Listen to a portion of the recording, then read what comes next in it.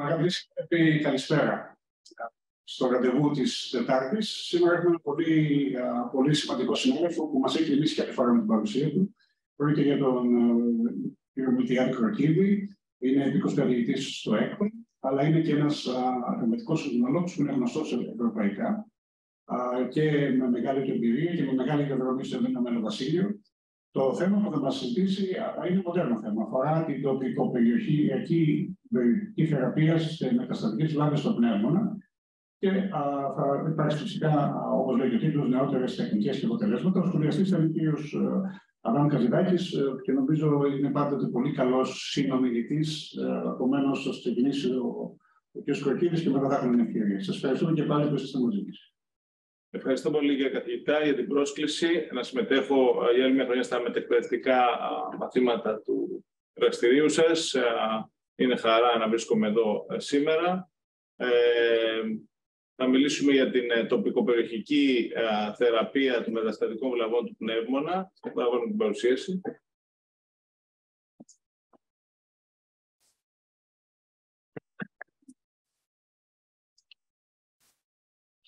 Ε, οι μεταστατικές βλάβες του πνεύμονα μπορούν να προέρχονται είτε από α, πρωτοπαθείς βλάβες στο πνεύμονα, α, οι οποίες προφανώς μεθύστανται στα άλλα τμήματα του πνεύμονα, είτε να είναι μεταστάσεις από άλλα όργανα. Και όπως βλέπουμε ο πνεύμονας είναι μια συνήθις ανατομική θέση που μεθύστανται ε, βλάβες, ε, κυρίως από ε, ορθοκολλικό καρκίνο ή καρκίνο του νεφρού, αλλά και από άλλες βλάβες όπως τα σαρκώματα, μελανόματα ε, και, ε, και άλλους μικρότερους, όχι τόσο συχνούς καρκίνους.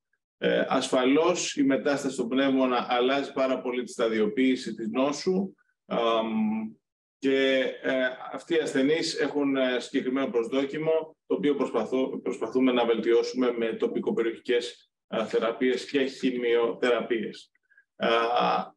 Η συστημική θεραπεία, δεν, η χημειοθεραπεία δεν είναι, είναι προφανώς πρώτη γραμμή στις μεταστατικές βλάβες, αλλά δεν είναι πάντα ανεκτή από τους ε, ασθενείς.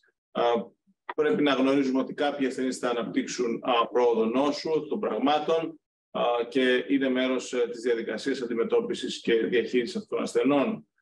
Η χειρουργική ασφαλώς ε, θεωρείται η πρώτη γραμμή τοπικοπεριοχικής θεραπείας, αν και εφόσον γίνεται, αν και εφόσον οι ασθενείς είναι σε θέση να υποστούν ε, χειρουργία σχετικά επεμβατικά, ε, έχει βελτιώσει την επιβίωση στο παρελθόν, στις σειρές που υπάρχουν, αλλά ε, έχει το θέμα ότι έχει μεγάλο υψηλό ποσοστό υποτροπής και όπως προελέχθη δεν είναι όλοι οι ασθενείς σε θέση να υποβληθούν σε, σε μεγάλα χειρουργία μετάσταση εκτομή ε, στο πνεύμα. Οπότε πρέπει να το έχουμε αυτό υπόψη μας. Ένα άλλο όπλο το οποίο έχουν, έχουμε σαν ιατρική κοινότητα απέναντι σε αυτές τις βλάβες είναι η ακτινοθεραπεία, η οποία σαφώς έχει βελτιωθεί και με τη χρήση fiducial τα τελευταία χρόνια. Ε, πρέπει να έχουμε υπόψη μας ότι και αυτή δεν είναι αθώα, μπορεί να προκαλέσει πνευμονία ε, και πνευμονική ίνωση σε εκτενείς περιοχές. Πρέπει να είναι πολύ αιστιακή για να έχει πολύ εστιασμένη για να έχει καλά αποτελέσματα και υπάρχουν ασθενείς οι οποίοι δεν μπορούν να δεχτούν υψηλές δόσεις ακτινοθεραπείας, πρέπει και αυτό να το έχουμε υπόψη μας, όπως επίσης και πολλές βλάβες μπορεί να μην είναι ακτινοευαίσθητες, ε, δηλαδή να υπάρχει μια ε, αντίσταση στην ακτινοθεραπεία και παρότι ακτινοβολούνται οι ασθενείς, οι βλάβες να μην υποστρέφουν. Οπότε δεν υπάρχει κάποια στρατηγική ε, ε, εγκαθιδρυμένη για τις μεταστατικές βλάβες. Υπάρχει ένας ε, διαρκής αγώνας της ιατρικής κοινότητας για να αντιμετωπιστούν αυτές οι βλάβες και να βελτιωθεί η ποιότητα ζωής και το προσδόκιμο των ασθενών. Όσον αφορά την απεικονιστικά καθοδηγούμενη τοπικοπεριοχική θεραπεία, μιλάμε τώρα πλέον για την κατευθείαν εφαρμογή είτε ε, θερμικής, είτε ηλεκτρικής, είτε χημικής ενέργειας σε μια συγκεκριμένη περιοχή του σώματος μέσω μιας βελόνης η οποία έχει τοποθετηθεί διαδερμικά με σκοπό προφανώς να καταστρέψει πλήρως το ογκολογικό φορτίο το οποίο υπάρχει σε εκείνη την περιοχή, τον όγκο που υπάρχει σε εκείνη την περιοχή, διατηρώντας ακέραιες τις υπέρυξτομές και χωρίς να τραυματίσει ε, τις, ε, τις ανατομικές δομές από τις οποίες διέρχεται προκειμένου να εξασφαλιστεί μια τοπικοπεριοχική ε, θεραπεία.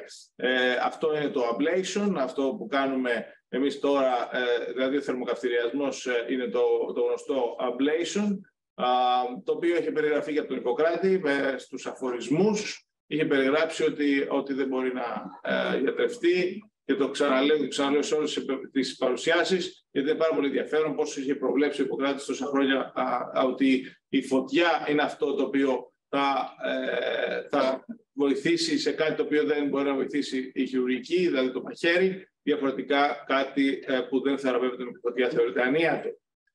Και αυτό κάνουμε και εμείς τώρα. Τώρα, το ablation έχει συγκεκριμένες ενδείξεις οι οποίες ε, ασφαλώς αφορούν την ε, μεταστατική νόσο η οποία επανέρχεται. Όταν έχουμε πολλαπλές μεταστάσεις, οπότε και η χειρουργική προσέγγιση είναι πιο δύσκολη. Όταν έχουμε μεταστάσεις που είναι σε ανατομικές θέσεις που χειρουργικά πάλι δεν μπορούμε να έχουμε μια εύκολη προσπέλαση ή όταν έχουμε τέτοιες συνοσυρότητες που δεν επιτρέπουν μια χειρουργική προσέγγιση. Γενικά, όταν η χειρουργική προσέγγιση είναι πιο σύνθετη. Και έτσι ξεκίνησε το ablation να ενσωματώνεται στον αλγόριθμο της διαχείρισης αυτών των ασθενών ε, και ξεκίνησαν οι πρώτες σειρές. Τι πετυχαίνει; Πετυχαίνει μια τοπική, τοπικό έλεγχο της νόσου. Ε, θα μπορούσε για, τα πρωτο, για τους πρωτοπαθείς όγκους, όγκους του πνεύμονα, ε, γιατί και εδώ έχει εφαρμογή πέρα της μεταστατικής νόσου, να εφαρμόζεται ως θεραπεία πρώτης επιλογής παρότι δεν είναι κάτι το οποίο βλέπουμε συχνά στην βιβλιογραφία, δεν υπάρχουν μεγάλες σειρές, γιατί εκ των πραγμάτων μία stage 1 νόσος ε, του πνεύμονα, ένα ε, μη μικροκυταρικό καρκίνο, ε, θα, θα, καρκίνο θα αφαιρεθεί χειρουργικά καταρχάς. Αλλά στους μη ε, στους ασθενείς που δεν μπορούν να είναι υποψήφοι για χειρουργική εξαίρεση, μπορεί το ablation να αποτέλεσμα λύση. Και φυσικά για τις πιο, προχωρημένες, πιο προχωρημένα στάδια σε συνδυασμό με άλλες θεραπείες, με χημειοθεραπεία, με άνοσο θεραπεία, και θα το δούμε και αυτό, μπορεί ασφαλώς να παίξει ένα σημαντικό ρόλο στην ε, τοπικοπεριοχική, τοπικοπεριοχικό έλεγχο, αλλά και στην ε, άνοσο τροποποίηση, που είναι και αυτή μια παράμετρος που θα συζητήσουμε παρακάτω. Ε, η μεταστατική νόσος του πνεύμονα έχει πάρα πολλούς χαρακτηρισμούς. Υπάρχουν πάρα πολλά trends. Ε, φέτος το καλοκαίρι συμμετείχα σε μια τράπεζα στο Παγκόσμιο Συνέδριο Καρκίνου του Πνεύμονα ε, που καθόριζε τα guidelines για το πώς καθορίζεται ολιγομεταστατική ή ολιγοπρογκρέσιβο, όπως λέμε, η ολιγορικάρεν νόσος. Είναι δύσκολο να κατηγοριοποιήσουμε την νόσο ε, σε, σε, ποιο, σε ποια κατηγορία πάει, δηλαδή πόσες μεταστάσεις έχουμε, πόσο γρήγορα προχωρούν, πόσο γρήγορα ε, επιστρέφουν μετά από θεραπεία ε, Πάντως, αυτές είναι τρεις κατηγορίες, τι οποίες εμείς, σαν κοινότητα που ασχολείται με τον καρκίνο πνεύμονα, ε, θέλουμε να ε, βοηθήσουμε με τις τοπικοπηρεσικέ θεραπείες. Μπορεί να έχουμε μια περίοδο στην οποία, όπως ε, λέμε, και είναι ένας όρος ε, πλέον εγκαθιδρυμένο στο chemo holiday, δηλαδή ο ασθενής να μην αντέχει άλλο να πάρει χημεθεραπεία και για ένα διάστημα, προκειμένου να έχει ένα τοπικοπηρεσικό έλεγχο, να λάβει το ablation και φυσικά σαν θεραπεία πρώτης επιλογής, εάν και εφόσον δεν υπάρχουν άλλες δυνατότητες, άλλες ε, ε, θεραπείες διαθέσιμες. Τα όπλα που έχουμε είναι γνωστά, είναι οι ραδιοσυχνότητες, είναι τα μικροκύματα και είναι και το κράιο. Ε, όλα αυτά, όλες αυτές τις τεχνολογίες έχουν χρησιμοποιηθεί εκτενώς και σε άλλα όργανα αλλά και στο πνεύμονα. Θα σας πω λίγο για την τεχνολογία αλλά και τα αποτελέσματα που έχουμε αυτή τη στιγμή. Το radiofrequency έχει βασιστεί στη χρήση ενός ηλεκτροδίου το οποίο έχει ένα άκρο ε, που προκαλεί ιοντική ταλάντωση των ιστών στο, στο σημείο εκείνο στο οποίο ε, τοποθετείται. Η, η κινητική ενέργεια που έχουν ιστεί μετατρέπεται σε θερμική ενέργεια στην περιοχή του ablation που θέλουμε να, να χτυπήσουμε με τις ουσίες και δημιουργείται μια, ε, ένα, ε, μια ζημιά η οποία οδηγεί σε ε, αυτό που λέμε coagulative necrosis και καταστροφή των ιστών. Το setting, αυτό είναι το setting που είχαμε στο εξωτερικό. Θα σας δείξω και λίγο το αρετέ, το έχουμε κάνει και αρκετά περιστατικά. Με ουσίας, ε, αυτό το οποίο θέλουμε είναι να έχουμε μια του αξονικού τομογράφου, που θα βάλουμε ε, το generator, ε, τη γεννήτριά μας. Θέλουμε να έχουμε μία τουλάχιστον οθόνη μέσα. Μπορούμε να έχουμε πιο κόμπλεξ ε, συστήματα τώρα με navigation, συστήματα πλοήγησης που μας βοηθούν να τοποθετούμε την πελώνη μας πιο άνετα. Ε, ασφαλώς ο ασθενής θα τοποθετηθεί σε αυτή την κατεύθυνση. Έχουμε τα υλικά μας. Και καλό είναι να υπάρχει μια αναισθησιολογική ομάδα. Εάν πρόκειται να γίνει ε, αναισθησία, θα πρέπει να ξέρουμε ότι ο ασθενής πρέπει να τοποθετηθεί με τέτοια θέση που αν είναι ε, πρέπει να εξασφαλίσει δηλαδή η δίδοση του αερογού. Η αναστησιολογική ομάδα συνήθως περνάει μέσα από το country, ε, προκειμένου να έχουμε πρόσβαση εμείς συνήθως οπίστια για αυτές τις βλάβες. Εκ των πραγμάτων δεν μπορούμε να ξέρουμε ποια θα είναι η μεριά ε, που θα, η, η γωνίωση που θα έχουμε προσβέλα στις βλάβες, αλλά με αυτή, με αυτή τη θέση έχουμε πρόσβαση στις περισσότερες βλάβες του πνεύμων. Αυτό είναι το, η γεννήτρια για τις ραδιοσυχνότητες. Βλέπετε ότι έχουμε κάποια στοιχεία, όπως η μυκή αντίσταση, θερμοκρασίες, αυτό είναι μια αντλία που εξασφαλίζει μια, μια ροή α, ε, ορού στο άκρο προκειμένου να μην, ε, να, μην να, να, προχωράει η θερμότητα. Αυτές είναι οι αντένες, μάλλον τα ηλεκτρόδια που χρησιμοποιούμε στις ραδιοσυχνότητες. Πρέπει να ξέρουμε ότι για να δημιουργηθεί ένα κύκλωμα θα πρέπει να έχουμε και τις γιώσεις οι οποίες τοποθετούνται στο μυρό του ασθενούς προκειμένου να έχουμε ένα κλειστό κύκλωμα μέσα από το οποίο να ε, κινείται η ενέργεια. Το τελικό αποτέλεσμα εξαρτάται από την θερμότητα που έχει αναποτεθεί στα, στους ιστούς, ε, αλλά και από την αγωγημότητα, τη θερμική αγωγημότητα των ιστών και ε, στη συγκεκριμένη περίπτωση των ραδιοσυχνοτήτων εξαρτάται από την παρουσία αγίων, είτε αέρα, ε, ε, έχει κάποιες παραμέτρους που επηρεάζουν το τελικό αποτέλεσμα. Δεν θέλουμε δηλαδή να χαθεί η θερμότητα μέσω των αγίων, με το heat sink effect που λέμε και θέλουμε να το μειώσουμε. Γι' αυτό έχουν εγκαθιδρυθεί και άλλες ε, τεχνολογίες. Πάντως, ε, η, η, το ablation με RFA, μια, μια μικρή βλάβη πνεύμονα, ε, είναι σχετικά απλό. Ε, βλέπετε τεχνικά τοποθετείται η βελόνα και θα δείξουμε και άλλα παραδείγματα στη μεσότητα της βλάβης και το, στο follow-up περιμένουμε να έχουμε αυτό το ευθέω αποτέλεσμα μετά από ένα χρόνο ή δύο χρόνια follow-up. Ε, δηλαδή να δημιουργηθείτε αυτό να μην υπάρχει πνευβλάβη, αλλά να έχουμε ουλώδη ιστό καθόλου. Ε, ε, και οπότε είμαστε ευχαριστημένοι με το αποτέλεσμα και μπορούμε να πούμε ότι έχουμε πλήρη ίαση τη συγκεκριμένη βλάβη. Το microwave είναι μια παρόμοια τεχνολογία που βασίζεται στη χρήση μιας αντένας που προκαλεί ιοντική ταλάντωση των μορίων του νερού ε, με ανάλογη τεχνολογία όπως οι ραδιοσυχνότητες ε, ε, παρατοποθετούνται στο χώρο και δημιουργούν κινητική ενέργεια πάλι η οποία ανταποκρίνεται ως θερμότητα. Αυτή είναι η, αντένα, η γεννήτρια της αντένας. Βλέπετε εδώ έχουμε άλλα στοιχεία. Έχουμε τα watt και το χρόνο και ο συνδυασμός των watt και του χρόνου δημιουργεί το τελικό αποτέλεσμα του micro. Δηλαδή όσο πιο πολλά watt και συνήθως είμαστε στα 100 watt, φτάνουν κάποιες γεννήτρες μέχρι 150 και στα 10 λεπτά μπορούμε να εξασφαλίσουμε μια πολύ μεγάλη περιοχή ε, ablation. Ε, αν αυτές οι παράμετροι είναι μικρότερες, τότε η περιοχή είναι πιο μικρή. Κάπως έτσι μοιάζει η αντένα. Το χαρακτηριστικό του microwave είναι ότι μπορούμε με μια αντένα να εξασφαλίσουμε μεγάλες περιοχές ε, θερμοκαυτηριασμού. Και αυτό είναι το βασικό αβαντάζ. Η αντένα αυτή δεν είναι πολύ μεγάλη, δεν είναι πολύ χοντρή μάλλον, οπότε προκαλεί και λιγότερα προβλήματα όσον αφορά τη δίωδο της στον πιστό. Ε, το βασικό ε, πλεονέκτημα επί των ραδιοσυγνωτήτων είναι ότι ε, η ενέργεια δεν εξαρτάται τόσο πολύ από τις περιεξτομές. Μπορούμε να έχουμε υψηλότερες δημοκρασίες, είναι πάρα πολύ πιο γρήγορο, μεγαλύτερες περιοχές ablation, δεν υπάρχει το heat sink effect και η βασική του, ο βασικός περιορισμός είναι ότι το τελικό αποτέλεσμα δεν είναι πάντα σφαιρικό και έχουν δημιουργηθεί κάποιες βελτιώσεις προκειμένου να εξασφαλιστεί ένα πιο ε, σφαιρικό αποτέλεσμα που να αναπαριστά τις τις ε, βλάβες. Αυτό είναι το setup στο Arετέιο. Βλέπετε ότι πάλι με πιστή προσέγγιση, μία αντένα μικροκυμάτων έχει τοποθέσει μια βλάβη.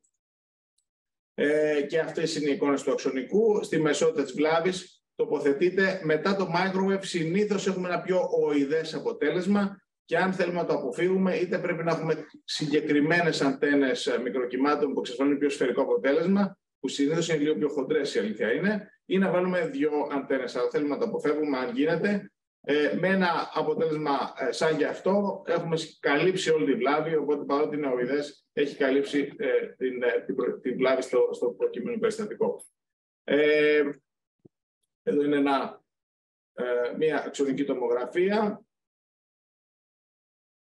Βλέπουμε έχουμε μια άλλη βλάβη ε, στο μικρότερο, λίγο σε πιο κεντρική θέση, στο αριστερό λογό.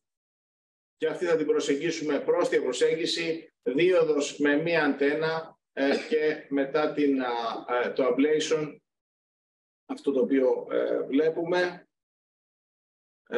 εκ των πραγμάτων η αντένα είναι σχετικά δεν είναι πολύ μεγάλη, δεν είναι πολύ μικρή. Υπάρχει πάντα ο κύριος πνευμοθώρακα, ε, γιατί ο πνεύμον δεν ε, ε, αρέσκεται στο να τοποθετείται. Εδώ έχουμε ένα μικρό πνευμοθώρακα, βλέπετε, αλλά είναι ικανοποιητικό αποτέλεσμα ablation της βλάβης. Ο πνευμοθώρακας ε, θα απορροφηθεί τις επόμενες ώρες ε, στις περισσότερες περιπτώσεις και δεν μας κάνει να ανησυχούμε. Οπίστια προσέγγισης σε μια βλάβη η οποία είναι πιο εύκολη στην προσέγγιση της, κοντά στο, ε, στον υπεζοκότα, στην προκειμένη περίπτωση χρησιμοποιούμε και ένα σύστημα πλοήγησης, το οποίο μας βοηθάει να τοποθετηθούμε ακριβώς στη μεσότητα της βλάβης, πάλι με μία αντένα μικροκυμάτων. Εάν τώρα θέλουμε να πάρουμε και βιοψία από τη βλάβη, καλό είναι να τοποθετείτε πρώτα η αντένα σε ασφαλή θέση στη μεσότητα της βλάβης και μετά με tandem technique, δίπλα δηλαδή με την ε, αντένα που έχει τοποθετηθεί, μπορούμε να πάρουμε και μια βιοψία, όπως κάναμε στην προκειμένη περίπτωση. Έγινε λήψη βιοψίας, έγινε αμπλέσιο και αυτό είναι το αποτέλεσμα ένα μήνα μετά, όπου βλέπουμε ότι η βλάβη έχει διωγγωθεί και θα έρθουμε μετά ε, να συζητήσουμε και λίγο πώς είναι τα απεικονιστικά στοιχεία των βλαβών μετά την θερμική κατάλυση και πώς θα γνωματεύσουμε με μια τέτοια αξονική ε, που έχει γίνει ablation. Ε, βλέπουμε ότι έχει διωγγωθεί η βλάβη, αλλά αυτό είναι ένα αποτέλεσμα που το θέλουμε, είναι ευκταίο, ε, γιατί δηλώνει ικανοποιητικό ablation και σιγά σιγά θα υποστρέψει. Ε, αυτή είναι ε, μια αξιολογική τομογραφία ενός άλλου περιστατικού. Βλέπετε ε, αρκετά εμφυσιματικός πνεύμονας, δύσκολος πνεύμονας για οποιοδήποτε χειρουργό. Η βλάβη στην προκειμένη περίπτωση, δεν ξέρω αν την είδατε, είναι σε ε, παρακαρδιακή θέση. Πιο δύσκολη περίπτωση.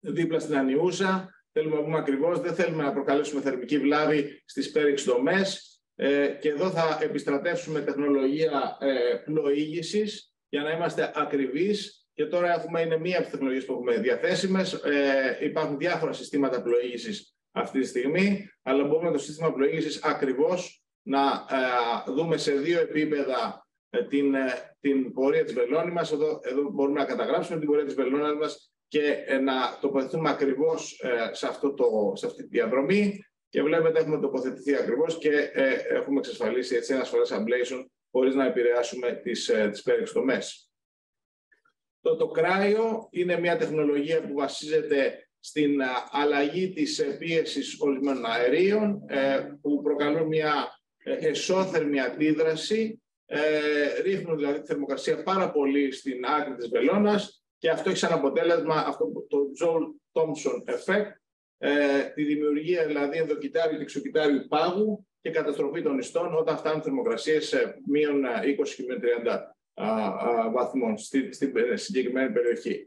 Ε, αυτό είναι το generator, η γεννήτρια του κράιο, μία από τις δύο-τρεις που κυκλοφορούν τέλος πάντων. Ε, βλέπουμε ότι έχουν να τοποθετήσουν μέχρι και τέσσερις βελόνες, γιατί στο κράιο ε, σπάνια θα χρησιμοποιήσουμε μία βελόνα μόνο. Συνήθως χρησιμοποιούμε ε, ε, ε, δύο ή τρεις προκειμένου να αναπαραστήσουμε τον όγκο της, της περιοχής που θέλουμε να, να παγώσουμε. Αυτά είναι τα probes, κάπως έτσι μοιάζουν. Και εδώ είναι το, το, το σχεδιάγραμμα που δείχνει το αργό στην, στο tip της βελόνας που αλλάζει κατάσταση όταν γίνεται expanded και αυτό ρίχνει πάρα πολύ θερμοκρασία. Το ice ball, αυτό το οποίο δηλαδή δημιουργείται, φαίνεται στον αξιονικό τομογράφο και αυτό είναι μια από τα, ένα από τα πλεονεκτήματα της μεθόδου, γιατί μπορούμε έτσι να δούμε ε, αν παγώνουμε διπλανές δομές και αν θέλουμε να σταματήσουμε. Είναι ασφαλώς λιγότερο, ε, ε, προκαλεί λιγότερο άλγος από τις θερμικές ε, τεχνικές, κυρίως από το microwave. Έχει δηλαδή μια αναλυτική δράση από μόνο του ούτως ή άλλως στο κράιο, οπότε σίγουρα μπορούμε να το κάνουμε και με τοπική αναισθησία. Ε, είναι, σέβεται πιο πολύ τις γύρω δομές όπως τους βρόχους, και ε, ε, όπως ε, προελέχθη μπορεί να χρησιμοποιηθεί μόνο τοπική αισθησία στα περισσότερα περιστατικά. Αυτό είναι το iceball, έτσι φαίνεται η περιοχή που παγώνουμε στο πνεύμονα ε, όταν ε, τοποθετηθεί η βελόνη και κάνουμε δύο κύκλους, ουσιαστικά θα παγώσουμε για 8 λεπτά ή για 10 λεπτά, θα αφήσουμε να λιώσει ο ιστός για 10 λεπτά και μετά θα ξαναπαγώσουμε και έχουμε αυτό το αποτέλεσμα. Ε, εδώ έχουμε ένα περιστατικό που είχε πρωτοπαθές ε, πνεύμονα το 2016, η βλάβη χημειοθεραπεία, έχει κάνει εκτενοθεραπεία, μεγαλώνει αυτή η βλάβη σε υποεπεσογωτική θέση. Βλέπετε σχετικά εύκολη προσβάσιμη. Στο PET φαίνεται να είναι αρκετά ενεργή, είναι υψηλό SUV. Ε, εδώ μπορούμε να χρησιμοποιήσουμε την chopstick technique από τα ξυλάκια, τα chopstick, βλέπετε είναι παράλληλα ε, στη βλάβη. Τοποθετούνται δηλαδή δύο, ε, δύο cryoprobes, το ένα δίπλα στο άλλο, με μια ικανή ε, απόσταση. Πρέπει να προσέξουμε πάρα πάρα πολύ να μην είναι χιαστή, διότι υπάρχει κίνδυνος να, αν σπάσει ένα από αυτά τα δύο, είναι δραματικό το αποτέλεσμα. Θέλει πολύ προσοχή ε, να μην, ε, αυτά τα αέρια να παραμείνουν εντός της βελόνας ασφαλώς. Αυτό είναι το τελικό αποτέλεσμα μετά το, ε, το cryoablation στην προκειμένη περίπτωση. Και μετά το follow-up, το οποίο μάλιστα είναι πολύ πρόσφατο, ε, βλέπουμε πόσο έχει υποστρέψει βλάβη. Δεν μιλάμε πλέον για βλάβη. Εγώ μου αρέσει να τα γνωματεύω και να λέω ότι αυτός είναι ουλώδης ιστός. Είμαι ευχαριστημένος. Υπάρχει μια μόλις υποσημενόμενη φλεγμονή ε, στο ΠΕΤ. Βλέπετε και στη μεταβολική α, απεικόνηση. Ελάχιστα πράγματα. Αυτή, είμαστε πάρα πολύ ευχαριστημένοι ότι αυτή η βλάβη έχει ε, ιαθεί πλήρω. Και αυτό είναι που ήταν αρχικά. Βλέπουμε τη διαφορά και ανατομικά, αλλά και στην ε, λειτουργική μεταβολική απεικόνηση. Ε, δύο λόγια για το πώς εμφανίζονται οι βλάβες και το πώς γνωματεύουμε. Διότι ειλικρινά στην καθημερινή πράξη βλέπουμε πάρα πολλά περιστατικά τα οποία έρχονται από εργαστήρια, έρχονται οι ασθενείς και λένε Μα γιατρέ μου, λένε Μεγάλο η βλάβη μου, ε, τι γίνεται. Στο πρώτο follow-up περιμένουμε να υπάρχει διόγκωση βλάβης στον πνεύμονα και στα άλλα όργανα. Στον πνεύμονα σίγουρα υπάρχει διόγκωση η οποία έχει α, ε, περιγραφεί, είναι ένα inflammatory, υπάρχει ένα φλεμονόδες, δηλαδή δακτυλίδι, γύρω-γύρω από τη βλάβη, που είναι ευκταίο. Το ζητάμε, σημαίνει ότι υπερκαλύψαμε τη βλάβη και μάλιστα είναι κανόνας να έχουμε ένα αποτέλεσμα που να είναι μεγαλύτερο από τη βλάβη. Ε, αυτό το οποίο περιμένουμε είναι αυτό σιγά σιγά να μαζέψει και να υποστρέψει και να γίνει ουλώδη ιστός ε, στο τέλος. Οπότε αυτό πρέπει να ε, περιγράφουμε όταν γνωματεύουμε τις αξονικές, δεν τις μέτραμε σαν βλάβες, ασφαλώς μας ενδιαφέρει το μέγεθος, αλλά ε, είναι το, ε, η γεωμετρία της περιοχής, εάν υπάρχει α, ή όχι α, ενίσχυση μετά το σκιαγραφικό, ε, η αξονική θα γίνει σε τακτά χρονικά διαστήματα μετά το, ε, μετά το θερμοκαυτηριασμό έως δύο χρόνια και αν έχουμε πρόσβαση θα πάμε και στη λειτουργική απεικόνηση, ε, το, το PET-CT δηλαδή, το οποίο σίγουρα μας βοηθάει. Δεν είναι ειδικό, είναι ευαίσθητο όμως ε, μπορούμε να δούμε τη μεταβολική δραστηριότητα, μπορούμε να δούμε τη φλεγμονή, μπορούμε επίσης να δούμε αν έχουμε πολυπωμένο ιστό. Ε, αυτή είναι η εξέλιξη μετά από ένα μήνα. Βλέπετε μία μικρή βλάβη, θα δούμε αυτό το φλεγμονώδες ε, δαχτυλίδι, αυτή την άλλο και δεν θα την περιγράψουμε σαν μάζα, αλλά θα την περιγράψουμε σαν περιοχή η οποία έχει ικανοποιητικά, ικανοποιητικά καλυφθεί από, από, το, ε, από το, το effect του ablation. Δηλαδή είναι μεγαλύτερη περιοχή από το original lesion, από την αρχική μας ε, βλάβη και σιγά σιγά αυτή θα υποστρέψει. Ένα άλλο παράδειγμα, βλέπετε αρχικά υπερκάλυψη, σιγά σιγά μαζεύει για να φτάσουμε στο τελικό αποτέλεσμα το οποίο είναι πραγματικά ουλώδης ιστός. Αυτό λοιπόν, όταν καλό είναι βέβαια αυτό να γίνεται από κάποιον ο οποίος εμπλέκεται στην διαδικασία, αλλά αν κάποιος τέλος πάντων πρέπει να γνωμοτήσει με αξονική, είναι καλό να έχει αυτά τα πράγματα στο, στο νου του. Τώρα, τα αποτελέσματα ε, της, ε, των τεχνικών ε, ασφαλώς είναι εγκαθιδρυμένη μέθοδος, είναι αρκετά τα χρόνια τα οποία το χρησιμοποιούμε, ε, αρχικά σαν ε, alternative στο, στο, στο χειρουργείο, οπότε μιλάμε για μία ε, μέθοδο με πολύ καλά αποτελέσματα, είναι ελάχιστα επεμβατική, μπορεί να, μπορεί να εφαρμοστεί πολλαπλές φορές. ε, και υπάρχουν αρκετές σειρές στην βιβλιογραφία τα τελευταία 15 χρόνια ε, που την περιγράφει. Θα πάμε λίγο συγκεκριμένα. Ε, αυτό είναι ένα ε, paper σχετικά πρόσφατο, όπου βλέπουμε ακόμα για το radiofrequency, το οποίο το χρησιμοποιούν κάποιες ομάδες. το, ο τοπικός έλεγχος στα τρία χρόνια είναι 81% και η πνευμονική λειτουργία ασφαλώς έχει διατηρηθεί. Paper του 2022 με 105 ασθενείς που έκαναν microwave. Το, 5, ε, ε, το disease free survivor στα 5 χρόνια είναι 42%. Ε, η πλήρης επιβίωση είναι 64,2%. Γενικά καλά αποτελέσματα. Το κράιο, σε αυτή τη μελέτη, πάλι μικρές είναι σχετικά, αλλά με μακρά επιβίωση, με μακρά παρακολούθηση, στα πέντε χρόνια πάνω από το μισό των ασθενών επιβιώνει ε, και χωρίς να έχει, δηλαδή με το cancer specific survival ε, πάνω από το μισό 56%. Ε, όταν έχουμε πολλαπλές θέσεις, ε, αυξάνεται η δυσκολία. Ε, μπορούν, σε αυτή τη μελέτη που έχουμε ε, πολλαπλές θέσεις όγκων, βλέπετε ότι οι, οι, παραπάνω θέσεις αυξάνουν το κίνδυνο πνευμοθώρακα. Παρ' όλα αυτά, εάν το αμπλέσιο γίνει σωστά, δεν έχουμε ουσιαστική διαφοροποίηση στους, ε, ε, στις παραμέτρους, στους ογκολογικούς παραμέτρους τέλος πάντων που αξιολογούμε ε, προκειμένου να δούμε αν η μέθοδος είναι, ε, ε, είναι αποτελεσματική. Στη συνδυαστική θεραπεία με χημειοθεραπεία για stage 4 καρκίνο του πνεύμονα, μεταστατική νόσος λοιπόν με χημειοθεραπεία, βλέπουμε ότι είναι τυχιοποιημένη μελέτη και έχουμε χημειοθεραπεία και microwave versus μόνο χημειοθεραπεία είναι σαφής η υπεροχή της συνδυαστικής μεθόδου.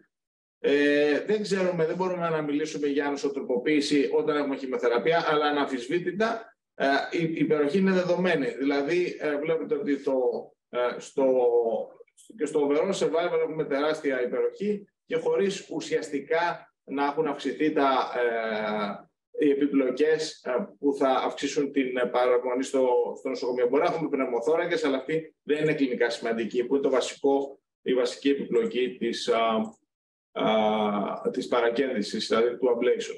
Ε, αυτό έχει ερμηνευτεί ως μια συνεργιστική δράση της χημειοθεραπείας με το ablation, που βασίζεται στην καταστολή των παραγόντων που αυξάνουν την ε, την, α, α, ναι, την καρκινογέννηση και την ανάπτυξη τέλος πάντων των, των όγκων. Ε, και υπάρχει σίγουρα και μια συνιστόσα που αφορά ε, την ε, ανοσοποίηση, την αυξημένη ανοσοποίηση. Γι' αυτό εμφανίζονται όλο και περισσότερες μελέτες που αφορούν όχι την χημειοθεραπεία, αλλά την ανοσοθεραπεία. Δηλαδή σε αυτή τη μελέτη βλέπουμε το immunomodulation που είναι πάρα πολύ trendy, βλέπουμε ότι υπάρχει μία ε, αλλαγή στα, ε, στα, στα, στα T-cells, ε, στο T-cell ratio που ουσιαστικά δηλώνει την ανοσοποίηση ε, μετά από ablation. Και υπάρχουν και ε, πολλά paper τα οποία περιγράφουν αυτό το boosting the anti-cancer immune response, το ablation effect, δηλαδή μετά, την, μετά το ablation. Ε, δεν έχουμε μεγάλες σειρές, αλλά αναμφισβήτητα υπάρχει μια, ε, ε, μια πληροφορία ότι αυτό, αυτό είναι δεδομένο.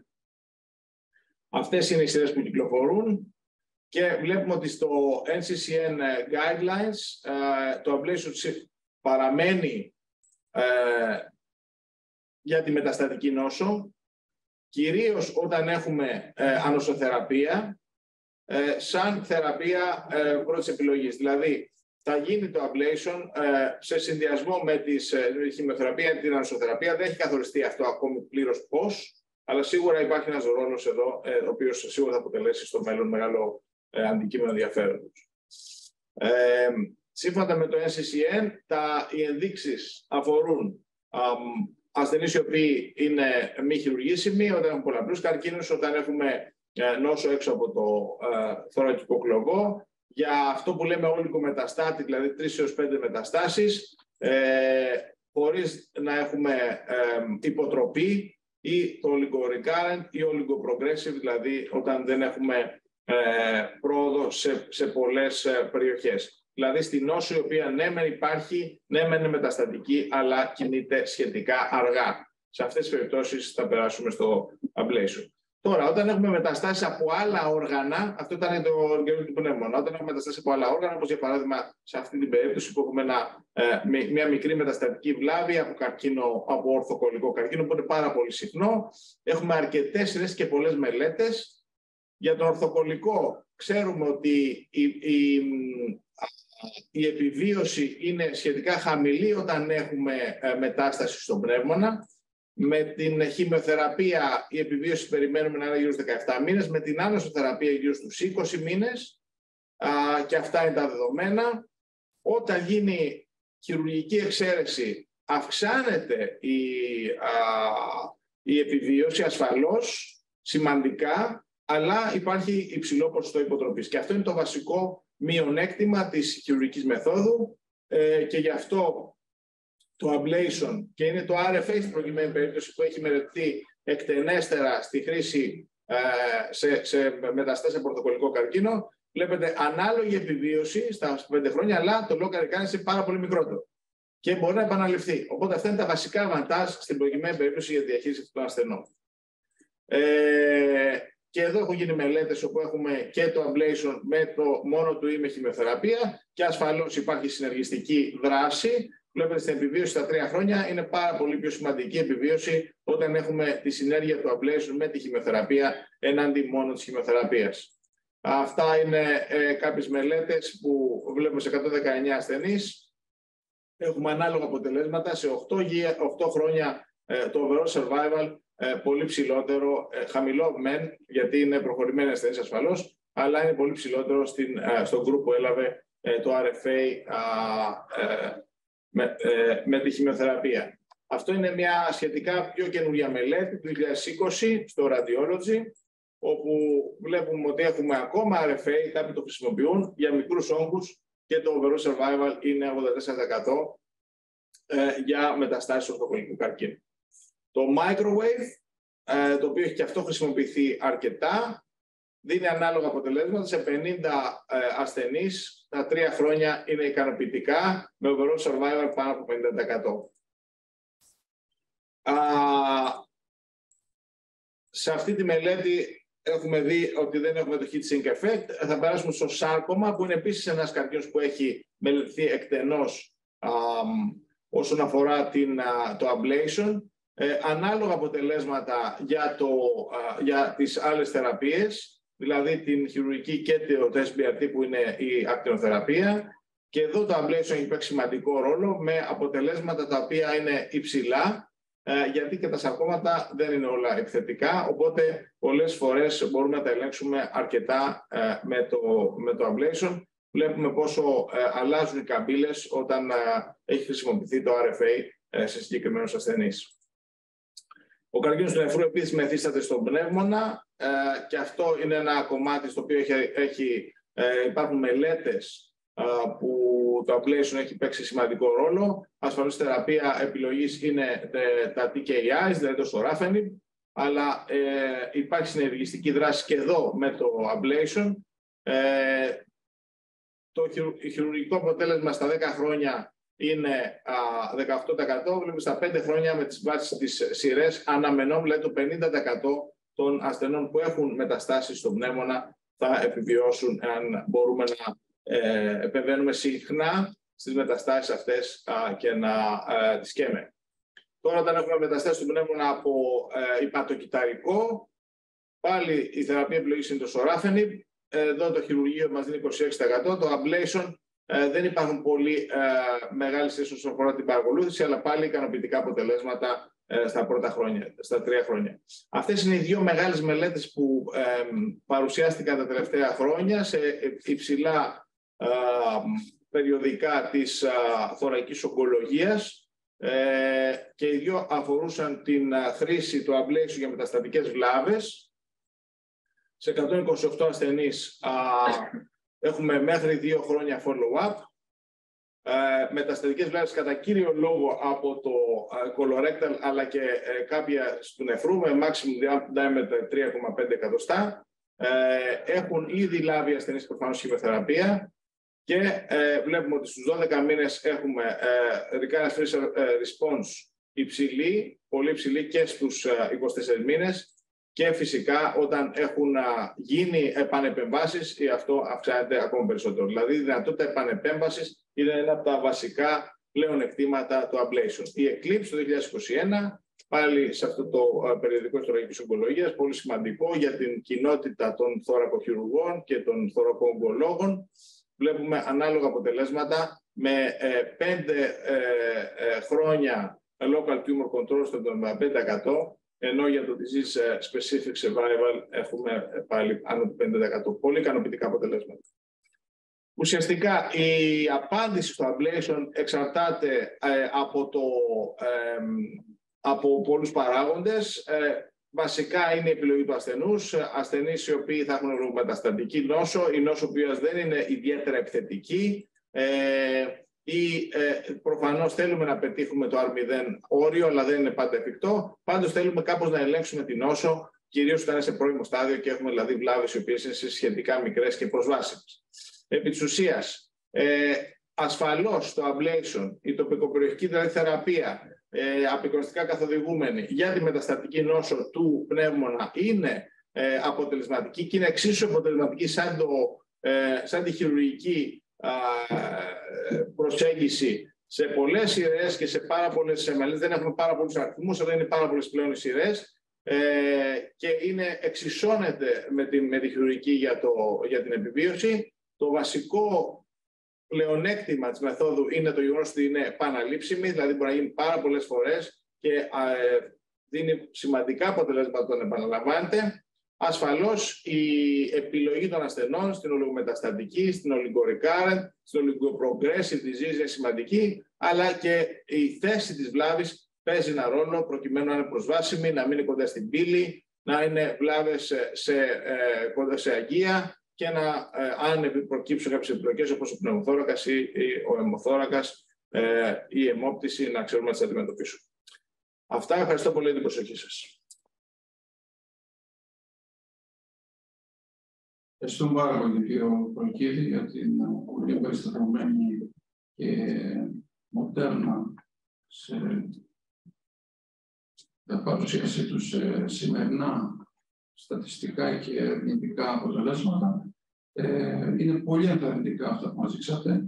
Ε, πρώτον, γιατί υπάρχει μια μεγάλη γκάμα όγκων οι οποίοι μέχρι τώρα έχουν, έχει φτάσει στα όρια της η συστηματική χημογραφία, ε, η χειρουργική και οι συνδυασμοί που μας παρουσιάσατε είτε με χημογραφία είτε με αμοσοθεραπεία είναι πιθανότατα αυτό που θα βοηθήσει τους ασθενείς να αυξήσουν την επιβίωση και την ποιότητα ζωής ε, στο μέλλον. Ε, Ιδίως ε, το cryo που είναι ίσως το πιο διαγερτικό της ε, ίσως είναι μια πολύ καλή λύση, δεν πονάει κατά την εφαρμογή του. Ε, βέβαια έχει ένα αυξημένο κόστος γιατί μπορεί να χρειαστούν δύο-τρει ώρε που είναι κάθε μία αρκετά ακριβή. Αλλά εάν δεν υπάρχει κάποια άλλη λύση, αν σκεφτούμε μάλιστα με σύγκριση με την ανασοθεραπεία και το κόστος μιας ανασοθεραπεία, τότε τα δικά μας ποσά είναι, δεν λέω γελία, αλλά είναι πολύ χαμηλότερα και θα μπορούσαν να δικαιολογηθούν πολύ πιο εύκολα. Όμως, για να δικαιολογηθούν, για να πρέπει πρώτα να προταθούν. Και στα ογκολογικά συμβούλια δυστυχώς ε, δεν πολύ συζητιούνται. Όταν υπάρχουν τόσο καλά αποτελέσματα, Ποιος νομίζετε ότι είναι ο κυριότερος λόγος που τουλάχιστον στη χώρα μας δεν έχει η ευρεία εφαρμογή αυτή η τοπικοπεριοχική θεραπεία και μάλιστα σε περιπτώσεις που ίσως δεν υπάρχει αδιαγραφική. Δηλαδή, ο μικροϊκταρικό καρκίνο αγώνα δεν χειρουργείται. Ωραία. Κάνεις μια χημειοθεραπεία στην αρχή με πολύ θεαματικά αποτελέσματα.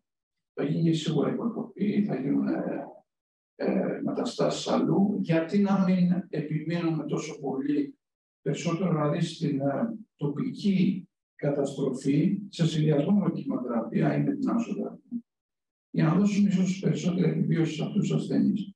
Ή και τις μεταστάσεις, όπως είπατε. Πολλές φορές και από το νεφρό και από άλλα όργανα ε, μπορεί να είναι όλοι μεταστατική νόση του πνεύμα. Επιμένουν πάνω οι ογκολόγοι της χημοθεραπεία. Δεν θα σκεφτούν σχεδόν ποτέ ούτε το απλέσιο, ούτε το κράγιο απλέσιο. Ο λόγος ποιος πιστεύετε ότι είναι και πώς μπορούμε να το βελτιώσουμε αυτό; Ναι, ευχαριστώ πολύ για την ερώτηση. Ε, είναι πράγματι κάτι καινούριο. Δεν είναι κάτι εγκαθιδρυμένο πλήρως. Ναι, μεν εμείς σαν κοινότητα έχουμε αναπτύξει σειρές τέτοιες σε ογκολογικά κέντρα, γιατί οι σειρές ε, προέρχονται από ογκολογικά κέντρα, τα οποία ε, αρχικά ξεκίνησαν να κάνουν αυτές τις, ε, δεν θα δοκιμές, αλλά αυτές τις μελέτες στους ασθενείς αλλά δεν είναι πλήρως διαδεδομένος στην ογκολογική κοινότητα. Νομίζω ότι θέλει λίγα χρόνια ακόμη για να εγκαθιδρυθεί πλήρως σαν θεραπεία. Αλλά είναι σίγουρα ο δρόμος. Δεν υπάρχει περίπτωση. Είναι δεδομένο ότι η τοπικοπεριοχική προσέγγιση θα ενισχύσει σημαντικά τα αποτελέσματα σε επίπεδο επιβίωσης και θα ενσωματωθεί πλήρως στους αλγορίθμου ογκολογικού. Είτε με τη χημειοθεραπεία είτε με την ενσωθεραπεία. Σύντομα θα γίνει. Τώρα, εμείς ε, προφανώς ε, σαν κοινότητα επεμβατικών ογκολόγων, επεμβατικών ακτινολόγων, οφείλουμε εκ των πραγμάτων να υπάρχουμε σε διεθνείς συνέδρια στα οποία ακούγονται αυτά τα πράγματα. Δηλαδή, για παράδειγμα, εγώ που είχα την τύχη τώρα να βρεθώ, να με καλέσουν στο Παγκόσμιο Συνέδριο του Καρδιού του Πνεύμονα, δεν έχει άλλους ακτινολόγου εκεί, δεν έχει κανένα. Ε, και μίλησα γι' αυτό, διαπίστωσα ότι κανείς δεν τα ήξερε. Δηλαδή, δεν, δεν τα γνώριζαν. Ήταν ε, κάτι καινούριο. Και πρέπει να μπει στα guidelines, στα ογκολογικά. Εκεί πρέπει να ξεκινήσουμε, εκεί πρέπει να εστιάσουμε. Ε, όχι να είμαστε μόνο στα δικά μας συνέδρια, αλλά πρέπει να είμαστε σε task force, τα οποία είναι multidisciplinary, όπως καταφέραμε το υπατοκυταρικό, όπως καταφέραμε για άλλους όγκους, ε, να είμαστε και το βεργίνο πνεύμα και το μεταστατικό κοινό. Αυτός πρέπει να ρόλο. Στο ένα λοιπόν, ένα κλειδί είναι η παρουσία των ακτινολόγων επεμβατικών και των ακτινολόγων γενικότερα, που είναι φυσικά θεσμοθετημένοι στα ογκολογικά συμβούλια, με τη μόνιμη παρουσία τους και την πρόταση ανάλογα με την περίπτωση ότι εδώ κάτι μπορούμε να κάνουμε βάσει και αυτών των μελετών. Η ενημέρωση λοιπόν των κλινικών συναδελφών. Ένα άλλο, όπως είπατε, είναι εντάξει, θα διευρυνθεί η παγκόσμια βιβλιογραφία και θα αναγκαστούν οι ογκολόγοι να προσαρμοστούν μελλοντικά, αφού πιστούν Έχω τις επιφυλάξει για τη χώρα. Και όχι, σίγουρα θα γίνει. Θα να ακολουθήσουν. Το τρίτο είναι αυτό που είπατε με την ότι πρέπει να παρουσιάζουμε στην ουσία στα ογκολογικά συνέδρια ή σε συνέδρια που συνδιοργανώνονται. Ένα ας πούμε τέτοιο είναι αυτό που συνδιοργανώνει και ο κ. Πασόπουλο αρκετές φορές με την ογκολογική απεικόνηση. Δεν ξέρω αν είναι τώρα κάποια στιγμή να ξαναγίνει στη Θεσσαλονίκη και Πασόπουλο στην Αθήνα. Ε, του χρόνου δεν ξέρω, είναι η σειρά της Θεσσαλονίκης. Είναι αναδιετή αυτά. Να. Το επόμενο στην Αθήνα. Και του χρόνου. Οπότε σε τρία χρόνια εδώ πέρα. Και πάντως, ε, ακόμα και στην Αθήνα, είναι, αν υπάρχει συμμετοχή και προτάσεις ακτινολόγων, μην το δούμε μόνο σαν ογκολογική απεικόνηση ότι να αποσβαίνει το καρκίνο, να αποσβαίνει το φόλο, αλλά εκεί μέσα πρέπει σε κάθε τύπο καρκίνου να μπει και ένα επεμβατικό ακτινολογικό ε, μια παρουσίαση. Ε, γιατί αν δεν τα ακούσουν οι ομολόγοι και τα ακούσουν βάσει στοιχείων, τότε θα καθυστερήσουμε ακόμα περισσότερα. Πάντως οι καμπύλες μιλούν μόνο τους. Όταν η επιβίωση ουσιαστικά μόνο με χημειοθεραπεία είναι στο 18% και με την ε, συνδυαστική χήμιο ablation πάει στα 5 χρόνια, το 56%, ε, τα πράγματα μιλάνε μόνος τους. Δηλαδή υπάρχουν σειρές. Δεν υπάρχει το level one evidence, δηλαδή να πούμε randomized control trials, γιατί δεν υπάρχουν πάρα πολλοί ασθενείς. Αλλά όταν αυτός συμπεριλαμβάνει στα guidelines, όταν α, υπάρχουν πολλές από πολλά κέντρα, όταν η μέθοδος είναι ασφαλής και δεν έχει ουσιαστικά μεγάλες επιλογέ, δεν υπάρχει περίπτωση να μην ενσωματωθεί. Είναι δεδομένο. Θα σκεφτεί ο ομολόγος τη χειρουργική εκτομή όταν νομίζω ότι. Ναι, και καλά θα κάνει, αλλά δεν γίνεται πάντα. Δεν γίνεται. Ε, Ρίξα ότι χήμιο με χειρουργική είναι χειρότερα από το χήμιο με απλέσιο. Ναι, και έχει υψηλό ποσοστό υποτροπών το χειρουργείο. Ναι, μένει η πρώτη γραμμή ασφαλώς, αλλά έχει υποτροπές. Δηλαδή, συνεχώς εμφανίζονται και δεν μπορεί να ξαναχειρουργηθούν αυτοί οι άρρωστοι. Δηλαδή, δεν μπορεί να βγάλεις τρεις βλάβες και μετά ξανά άλλες τρεις. Ενώ το ablation υπήρχε ένα συνέδριο που είδα ένα περιστατικό, είχε δείξει στο SIR πέρσι ένας expert, πραγματικά expert στο lung ablation από το Los Angeles, είχε κάνει ένα περιστατικό 42 ablation. 42 φορές. Κόντρο είχε ελέγξει μία νόσο για 8 χρόνια. Και κάθε βλάβη που έβγαινε ε, χωρίς συμπλοκές έπαιρνε και την εκεί. Και είναι, είχε την νόσο έτσι. Είναι θέμα κόστου, είναι θέμα συστήματος. Συγχύμιο, φυσικά. Αλλά με κοιμιο holidays. Δεν μπορεί και ο ασθενής να παίρνει διαρκώ. Ε, ε, είναι και είναι και αυτονόητο. Έτσι, 8 χρόνια βάζει με χημειοθεραπεία. Εδώ που της χημειοθεραπεία, χημειοθεραπεία, μόνο το καρκίνος χημειοθεραπεία, ενώ με το ablation ε, και με το μόνο η ARC, ε, μερικές φορές ε, κλείνονται ουσίες οι οποίες δρούν συνεργιστικά εναντίον του όγκου ε, και ρίχνουν καλύτερο αποτέλεσμα χημειοθεραπεία. Αυτό δεν το λέμε εμείς οι δικές μας μελέτες μένει μεταξύ μας, όταν το λένε οι ογκολόγοι. Θα πες στην ευρύτερη κοινότητα. Εντάξει. Το πες στην ευρύτερη κοινότητα. Δεν ξέρω αν υπάρχει κάποια ερώτηση από αυτούς που μας ακούνε ή μέσα από την αίθουσα. Ναι, Άρη. Ε, Φαντάζομαι η μέθοδος που θα χρησιμοποιήσουμε είναι εξατομικευμένη για κάθε ασθενή. Για παράδειγμα, είχατε πει σε ένα περιστατικό ε, που η βλάβη ήταν παρακείμενα στην αορτή ότι χρησιμοποίησαμε cryo ablation γιατί δεν θέλαμε να, να δώσουμε θερμότητα σε εκείνη την περιοχή. Υπάρχουν όμως κάποιες απόλυτες ενδείξεις ή αντενδείξει για το ποια μέθοδο θα χρησιμοποιήσουμε; Όχι, απόλυτες ενδείξεις ή αντενδείξει δεν υπάρχουν. Και δεν παίζει και τόσο ρόλο. Εκεί η κάθε μέθοδος, αυτός ο operator να ξέρει καλά τη μέθοδο και να ξέρει να την προσαρμόσει στις ανάγκες της βλάβης. Δηλαδή, τόσο όσον αφορά την αποτελεσματικότητα, αλλά και τις πιθανές επιπλοκές που θα προκύψουν. Δηλαδή, να μην μεταφερθεί θερμική ενέργεια στις ε, γύρω αλλά να είναι και αποτελεσματικό το ablation. Οπότε έχει να κάνει με το πόσο ε, κάποιος είναι ε, εξοικειωμένος με τη συγκεκριμένη μέθοδο. Τώρα, η κάθε μέθοδος έχει συγκεκριμένα στοιχεία, όπως για παράδειγμα η αναλγησία από το κράιο κυρίως σε περιοχές κοντά στην, στον υπεζοκότα είναι πολύ λιγότερο, ε, προκαλεί πολύ λιγότερο πόνο, οπότε είναι η θεραπεία επιλογή για τους περισσότερους. Δηλαδή, οι περισσότεροι γυριστές θα πέρασουν αυτή τη διαδικασία. Δεν νομίζω ότι θα πάνε σε κάτι άλλο. Υπάρχουν δηλαδή κάποια στοιχεία τα οποία υπερτερούν για συγκεκριμένες βλάβες. Αλλά σε γενικές γραμμές ο καθένας διαλέγει ότι αυτό που πιστεύει καλύτερα. Ευχαριστώ.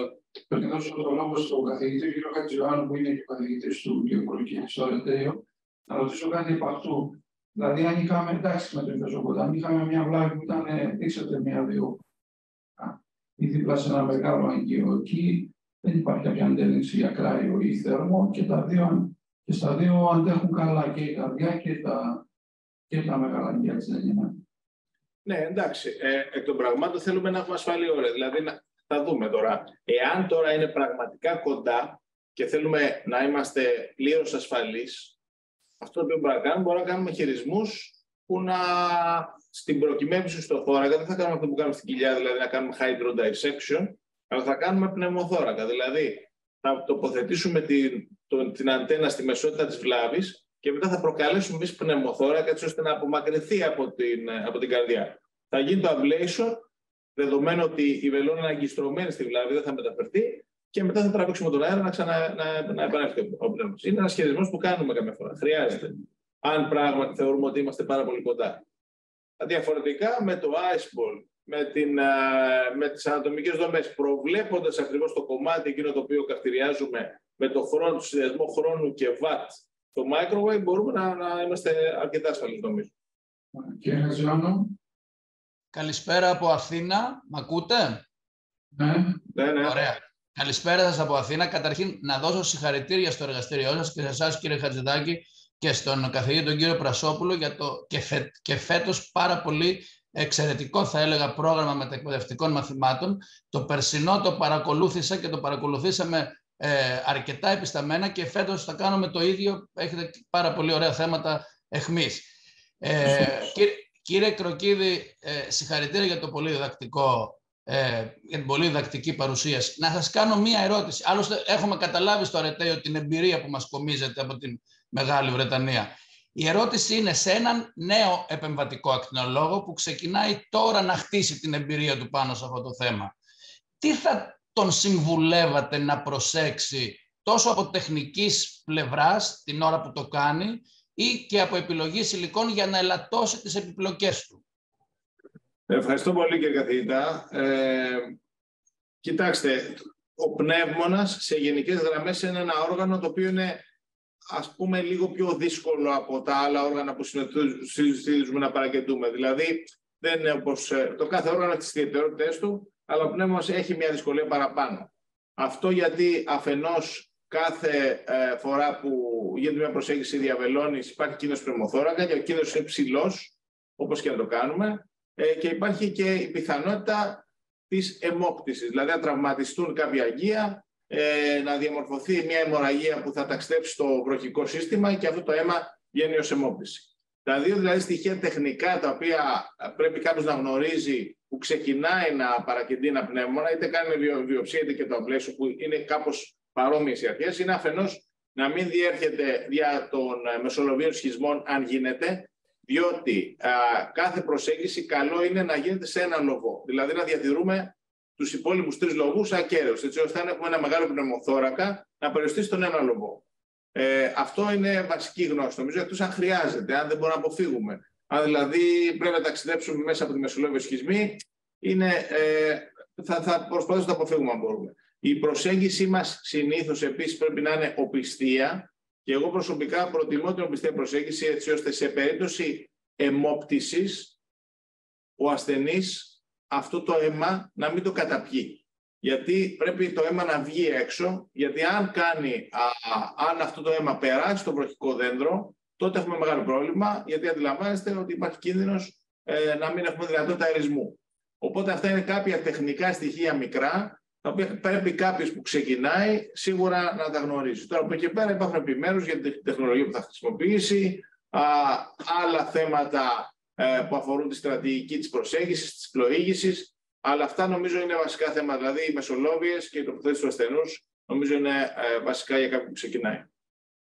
Ευχαριστώ πολύ. Ως προς την τοποθεσία της βλάβης κεντρικά ή δίπλα σε μια μεγάλη αρτηρία ή φλέβα ή μεγάλο βρόγχο. Εντάξει, εκεί δυσκολευόμαστε πιο πολύ ασφαλώς. Αν είναι πάρα πολύ κεντρικά, εγώ γενικά αποφεύγω να μπαίνω στη διαδικασία να είναι, είναι πιο επικίνδυνο ε, εκ των πραγμάτων. Πρέπει να είμαστε πιο προσεκτικοί. Έχει να κάνει με ε, το πόσο απαραίτητο είναι να γίνει θεραπεία, ε, η βιοψία σε κάποιες περιπτώσεις. Αξιολογούμε δηλαδή, τη συνολική εικόνα του ασθενούς. Ασφαλώς προτιμούμε βλάβες οι οποίες είναι πιο πολύ προς την περιφέρεια του πνεύμονα ε, και έχουν μια ευθεία διαδρομή αν είναι κοντά σε αγγεία, σε βρόχους και κεντρικά, ε, ο κίνδυνος να, να προκύψουν επιπλοκές είναι ασφαλώς μεγαλύτερος. Ωραία, ευχαριστώ πολύ και χαίρετε από, από Και εμείς καθηγητά που μας παρακολουθείτε και φανατικά το ξέρουμε αυτό. Ε, υπάρχει και μια ερώτηση από την κυρία Λόγκα, ε, τριπλή ερώτηση. Ε, τη βλέπουμε εκεί στο chat. Ε, υπάρχει όριο μεγέθους μικρότερο ή μεγαλύτερο για τις βλάβες; Βλάβες κεντρικά ή πεζοκορτικά δημιουργούν προβλήματα. Ας πάμε πρώτα σε αυτό. Το όριο αφορά το όριο των βλαβών που εμείς ε, κάνουμε θερμοκαυτηριασμό. Σε γενικές γραμμές μπορούμε με ασφάλεια να καυτηριάσουμε και να ελέγξουμε μικρούς όγκους. Όχι μόνο στον πνεύμονα, γενικά. Αλλά ιδίως στον πνεύμονα, που δεν μπορούμε να τοποθετήσουμε πολλές βελόνες. Δεδομένου ότι θα περιορίσουμε τον αριθμό των βελονών που θα χρησιμοποιήσουμε. Εγώ ασφαλώς θα αναλάβω να, να θερμοκαυτηριάσω κάτι το οποίο είναι μέχρι 3,5 εκατοστά, 4 εκατοστά το πολύ. σω 4 να είναι αρκετό. Ε, μέχρι 3 εκατοστά θα έλεγα. Ε, γιατί για να, για να γίνει θερμοκαυτηριασμό σε, κάποιο, σε μεγα, μεγα, μεγα, μεγαλύτερη βλάβη πρέπει να τοποθετούν πολλές βελόνες και αυτό αυξάνει ε, ασφαλώς ε, τους κινδύνους που προαναφέραμε. Οπότε στην ερώτηση ότι κεντρικά και πεζοκοτικά ποια δημιουργούν μεγαλύτερα προβλήματα, προφανώς τα κεντρικά είναι πιο δύσκολα. Θέλεις μεγαλύτερο βάθος για να παρακολουθήσει. Δεύτερη υποερώτηση είναι αν έχουν περιστατικά που ενώ κεντρικά νεκρώνονται, παραμένει μεταβολικά ενεργή περιφέρεια. Πώς θα αντιμετωπίσετε αυτά και αν μπορούν να παρακολουθούνται με, απλό, με άλλο τρόπο πριν του PET. Αυτό τώρα, ε, εάν είναι μετά από ablation, α, θέλουμε να έχουμε μία ομοιογενή συμπεριφορά της βλάβης. Δεν, ε, ε, αν έχουμε τώρα και κεντρική νέκρωση και στην περιφέρεια έχουμε ενίσχυση, σημαίνει ότι υπάρχει πολυπόμενος ιστός, δηλαδή δεν το έχουμε κάψει πλήρως. εάν τώρα έχουμε υπερκαλύψει τη βλάβη, δεν περιμένουμε να έχουμε την ε, μεταβολική δραστηριότητα στην περιφέρεια. Οπότε, ίσως είναι περιπτώσεις υποτροπής αυτές παρά περιπτώσεις που.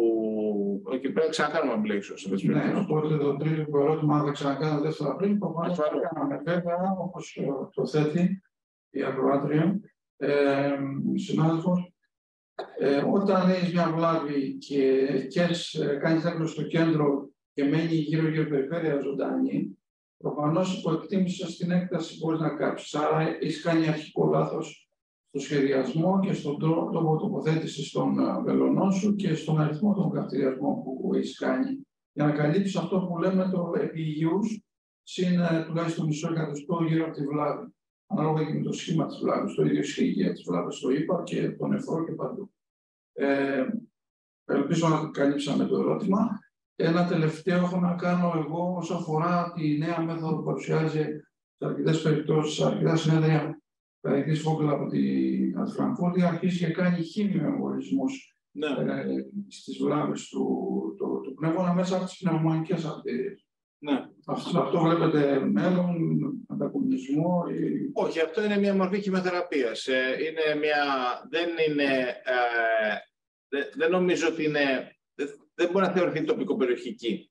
Είναι μια ενισχυμένη ε, δράση χημειοθεραπείας, α, η οποία τοποθετείται από τις πνευμονικές φλέβες. Ε, δεν, δεν, ε, δεν είναι ανάλογο του χημειοεμβολισμού που κάνουν στο ύπα, δηλαδή να είναι με υπερεκλεκτικό καθυριασμό. Είναι εκλεκτικός ο καθυριασμός, δηλαδή θα πάμε στην... ε, α, Κάνει τμήμα λόγω... στην πνευμονική φλέβα, ας πούμε, που είναι ναι, ουσιαστικά στην πνευμονική αρτηρία που, που, που ε, περικλείει κάπως την βλάβη, αλλά δεν είναι υπερεκλεκτικός ο καθυριασμός. Ε, Εκεί ίσως μήπως μπορεί να το συνδυάσει κανείς ε, ελέγχοντας με τον εμβολισμό να, να ενισχύσει τη δόση του ablation και την ώρα γιατί θα έχει λιγότερο αιμάτωση.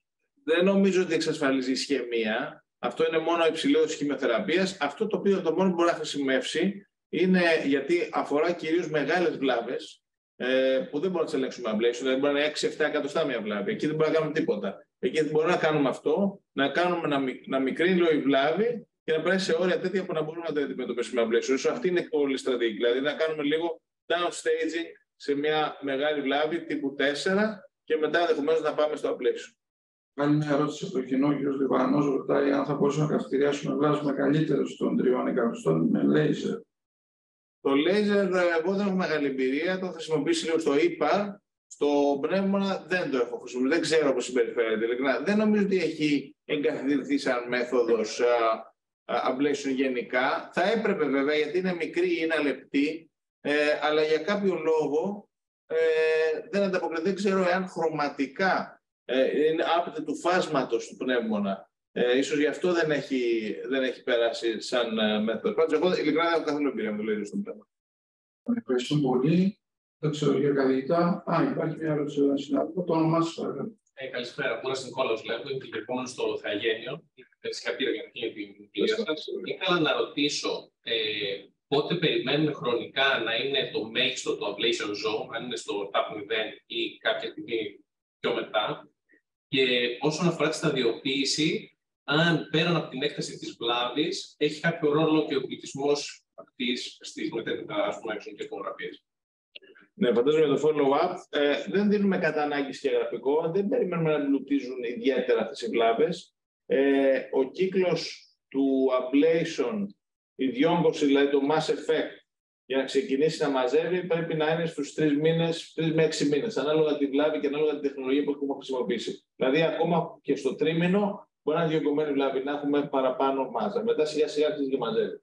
Δηλαδή, δεν πρέπει να μας τρομάζει αυτό. Άρα είναι καλός να χρησιμοποιούμε ως baseline τοπικά το τρίμηνο ή το εξάμηνο. Ναι, ναι, ναι, ναι. ναι.